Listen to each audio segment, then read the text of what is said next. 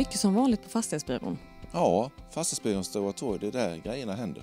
Det är ju lite säsong för fritidshusen nu när vi kommer in i början på sommaren här. Och eh, som ni läste alldeles nyss i Hallandsposten så var det en fin artikel om just att fler bosätter sig permanent i de små fritidshusen. Så trycket på våra sommarstugor, det är som alltid stort.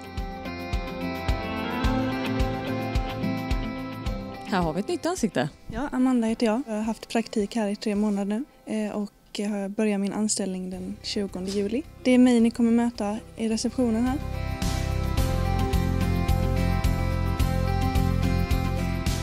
Och sen är det så här nu att 1 juni 2016 så införs ju amorteringskrav. Och det har varit rätt mycket diskussioner kring det hela. Men bankerna har ju redan sedan september förra året räknat in de här amorteringskraven kan man säga. Så att alla som är ute och letar bostäder nu har ju vetat om detta sedan lång tid tillbaka så att där sker inga större förändringar.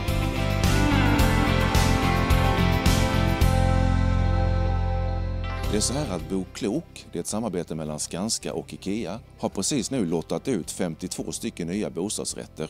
Man får chansen att köpa en bostadsrätt. De 52 som blev dragna på den eh, lottningen ute på travet och det blir ett spännande projekt. Och sen har vi ett annat spännande projekt. Fastighetsbyrån ska vara med och sälja eh, det är industrilokaler kan man säga i bostadsrättsform som vänder sig kanske till eh, mindre företagare som behöver ha bra egna lokaler. Jag har ett riktigt spännande hus uppe på Bergsgatan 22, precis där Gallberget tar vid, där trapporna kommer ner.